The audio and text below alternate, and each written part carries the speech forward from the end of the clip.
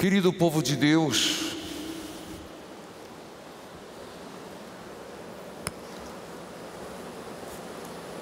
rezemos para começar este momento de reflexão. Eterno Pai, eu vos ofereço as santas chagas de nosso Senhor Jesus Cristo, para curá-las de nossas almas. E é recorrendo às santas chagas de Jesus que nós pedimos e clamamos: curai nossas enfermidades e curai as enfermidades do mundo inteiro. Hoje mesmo eu falava com uma mensageira, líder da capelinha de Jesus das Santas Chagas, e começo dizendo que meu coração se alegra de ver crescer o número dos líderes mensageiros. Nós tivemos, nesses últimos dias, 61 novas capelinhas mandadas pelo Brasil e pelo mundo, cinco nos Estados Unidos, quatro, 14 em Minas Gerais, 23 no Paraná, quatro no Ceará, cinco em São Paulo, três no Distrito Federal, duas em Santa Catarina, uma em Sergipe, Alagoas, Pará, Rio Grande do Norte, Paraíba. Eu insisto e convido os grupos a mandarem suas fotos, seus vídeos. Como nós recebemos um vídeo de Maria Martinha de Almirante Tamandaré, mostrando a sua, o seu grupo rezando em torno da devoção, procurando ser discípulo missionário, também de Regina Patrícia de Paulista, Pernambuco, fotos que recebemos dos grupos reunidos celebrando, como de Timbó, Santa Catarina, Claraíce Pereira, de Pirapora, Mato Grosso do Sul, Cristiane Meirelli, de Palotina, Paraná, Ricardo Luiz, de Americana, São Paulo, Luciene, de Horizonte, Ceará, Maria das Graças. Eu incentivo, mande as suas fotos, seus vídeos, através do 419 8791 2787. Filhos, é uma devoção que tem crescido nesse mistério redentor de Jesus paixão, morte e ressurreição. Pessoas que estão entendendo que quanto mais próximos de Jesus, conseguem ser mais discípulos do Senhor, e nada melhor do que contemplá-lo neste ato de amor. Nós estamos numa semana intermediária entre a solenidade de Cristo Rei e primeiro domingo do Advento. E se lembrarmos domingo passado, ele ecoa muito forte, e de modo forte hoje, nas Santas Chagas, quando Lucas nos apresenta o Cristo, Rei do universo, pregado na cruz com uma inscrição acima, para que nunca esqueçamos: aqui está o Rei dos Judeus, mas podemos dizer, aqui, pregado na cruz, morrendo por amor, está o nosso Salvador. Nunca esqueçamos disso. Onde Ele foi para nos salvar. E aos pés da cruz de Jesus, eu e você somos chamados a colocar as nossas doenças, somos chamados a colocar as nossas dificuldades, nossos peringues, tribulações. Pois bem, o que você quer pedir hoje a esse Jesus das Santas Chagas? Mesmo durante o programa recebi uma mensagem de alguém que ia começar a quimioterapia rezei, coloquei o nome, radioterapia, perdão. Mas nós somos chamados a sempre aos pés de nosso Senhor, aos pés da cruz de Jesus, pedir: Senhor, uma gota do teu sangue recaia. Mude esse diagnóstico, cure essa enfermidade, ajude a vencer esta grande tribulação. Hoje a liturgia nos coloca que todos ficavam admirados com o templo de Jerusalém, e de fato, era uma das maravilhas do tempo antigo, por fora, mármore azul. Imagina você, uma construção enorme azul, de escalas colossais. Dentro, ao longo dos anos, foram colocados presentes que a gente chama lá, doações, pedras lindas pedras preciosas cravadas, muitas ofertas votivas. As pessoas entravam e ficavam maravilhadas com a beleza. E Jesus diz: Vocês estão maravilhados com isso? Tá bom. Mas outras coisas deverão causar-lhes maravilhas. Assim, meus irmãos, nós somos chamados a não nos maravilharmos somente com aquilo que as mãos humanas faz e faz. Fez no passado, faz no presente grandes maravilhas. Mas somos chamados a nos maravilharmos com a ação de Deus no mundo. Esta sim deveria nos causar admiração. Como por exemplo, ao longo da história, como Deus foi paciencioso e libertador com o seu povo. Cada vez que a gente lê o Antigo Testamento, se você perceber como Deus agiu milagrosamente, citando passar ao, o povo a pé enxuto pelo Mar Vermelho, mandar codornizes, as pragas do Egito, as grandes libertações que Deus fez, e Deus sempre ali, ajudando, o povo vira as costas, Deus perdoando. Se nós olharmos no Novo Testamento, quantas maravilhas Jesus fez, quantos sinais nos deu, e se olharmos para o tempo da igreja, que é o nosso tempo, Quanta coisa linda Deus fez, através dos santos, através das aparições.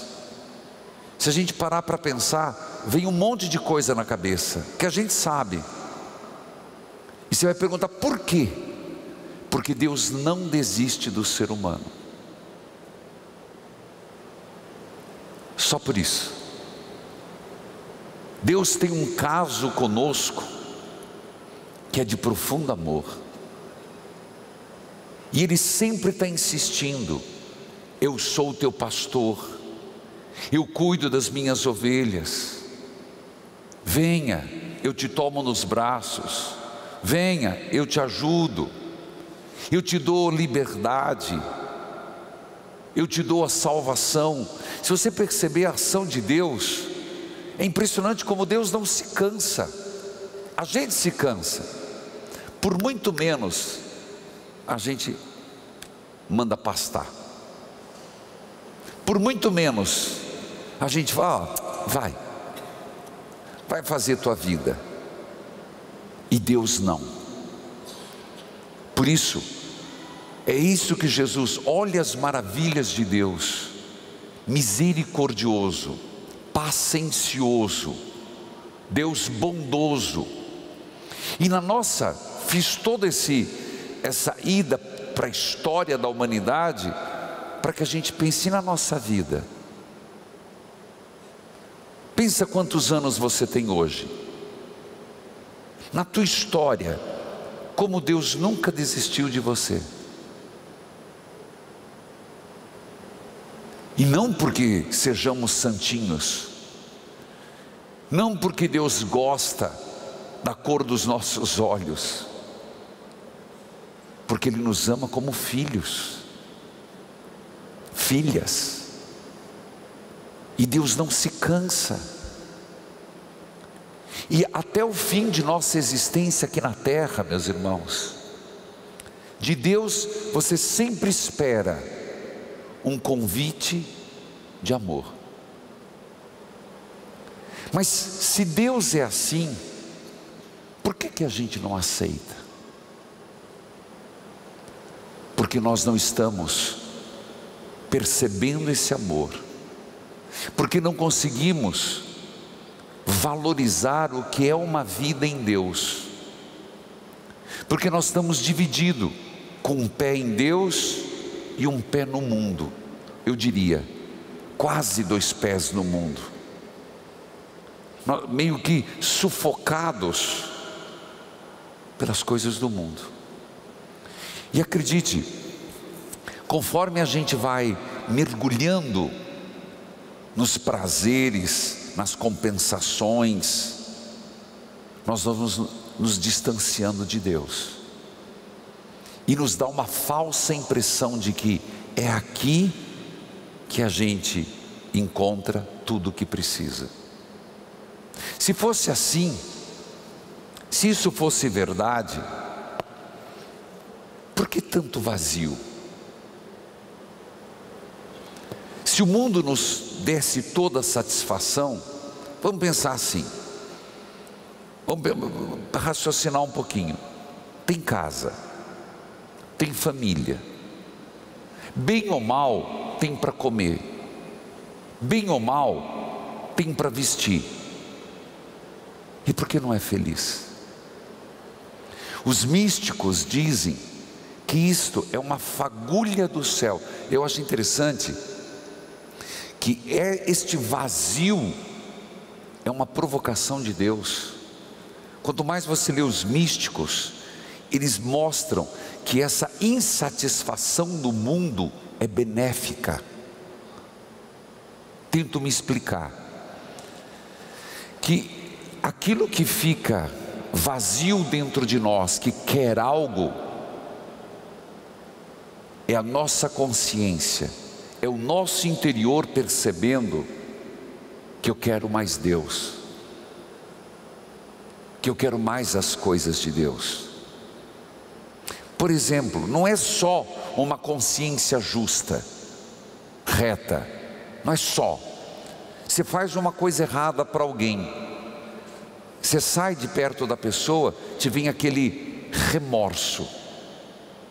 É uma consciência bem treinada, mas é porque no fundo nós temos uma referência do bem. Porque no fundo nós temos uma referência de Deus. Então aquilo nos incomoda, e bendito incômodo, bendito remorso, bendito vazio, bendita, eu diria ansiedade, mas é, aí teria que explicar mais, no sentido de que em mim há algo que quer mais. Estou me fazendo entender? desculpe se entrar nessa linha. Bendita paz inquieta. Então, às vezes, a gente tem tudo. Você não tem um carro do ano, mas você tem um carro. Tem família, tem. Mas no fundo, quando você deita ou quando você se dá um minuto de ficar sozinho, vem aquilo. Eu posso mais eu quero mais. Essa é a ação de Deus em nós, nos instigando para um crescimento espiritual, nos provocando para algo mais. Hoje o Evangelho é um questionamento meio que geral, que nós não fiquemos encantados com aquilo que as mãos humanas fazem. Sim, no fundo há Deus por trás, porque em toda obra está a inteligência de Deus, mas e as maravilhas de Deus? Muito breve, nós vamos intensificar algo impressionante: Deus se encarnar. Que mistério! Hoje, nas Santas Chagas, Deus morrer por mim, quem sou eu que mereço tanto? O que fiz eu para merecer tanto amor de Deus? É assim que hoje, por exemplo, nos vestimos de vermelho para lembrar uma mártir. Lembrar Santa Cecília, virgem e mártir, do começo do cristianismo, do ano 230, período em que ainda ser cristão era motivo de ser morto. Antes do documento de Constantino, o edito. Impressionante que essa jovem mártir se converteu com o irmão. Era pagã, se converteu a ser cristã. E por esse simples fato, foi, foi presa. É impressionante que essa virgem mártir foi muito instigada a renunciar à fé e não fez. Sofreu muitas formas de tentativa de morte. Ela era muito benquista pelos seus, então eles evitaram em matá-la publicamente e a confinaram num lugar chamado uma terma, para ela morrer asfixiada pelo calor. E de onde vem ela ter a ver com os músicos? Porque diz que durante todo o seu martírio, ela tinha uma serenidade no rosto e cantava hinos ao Senhor. Cantava hinos e louvores antífonas. Depois de ter sido colocada na terma, foram abrir, não estava morta. Os algozes decidiram decapitá-la. E apesar de terem batido o machado, ela não morreu e ficou agonizando três dias não tinha mais voz, mas sofejava, não cantava, mas sofejava hinos ao Senhor. Agora eu te digo, alguém que está prestes a morrer, recebeu uma chadada, não conseguiram decapitá-la. Você vai falar assim, mas isso é impossível, não é não. Vou dar um exemplo, vou viajar. Você sabia por que foi inventado a, guilhotina? Na França, muitos anos depois, porque a técnica de matar de machado e espada nunca foi precisa. Então, na Revolução Francesa se inventou, agora história, a guilhotina para ser rápido e indolor. Mas lá no início era na machadada e na espada. E às vezes precisavam muitos golpes. Eles não tinham a técnica na decapitação. E ela ficou três dias agoniando. Agora eu te digo, uma pessoa que está agoniando, cantando ao Senhor. Ah, meus irmãos, às vezes a gente dá uma tropeçada e fala cada palavrão. Às vezes a gente, por muito menos, xinga tanto é coisa dos santos. Por isso hoje tem mais a história de Santa Cecília, Virgem Mártir, mas por fim ela foi morreu. O próprio Papa enterrou. Em 1600, como quando foram mexer no seu túmulo, ela estava com o corpo incorrupto. Incorrupto não. Não estava intacto, não incorrupto. Há uma diferença. E portanto, na igreja dedicada a Santa Cecília, existe a imagem que vocês estão vendo no vídeo, vídeo wall em casa, que é uma representação em mármore do seu corpo do jeito que foi encontrado, decapitado e incorrupto, intacto. E por que falar sobre ela? Bendito seja a pessoa que tem dons de cantar. Bendito seja as pessoas que têm dom de tocar. E por isso eu ofereci esta missa por todos aqueles que nas paróquias, nas capelas, nas comunidades, nos grupos, usam dos seus dons para ajudar a elevar as almas aos céus. Ela sim, Virgem e Marte entendeu que Cristo era nada menos que tudo na vida dela.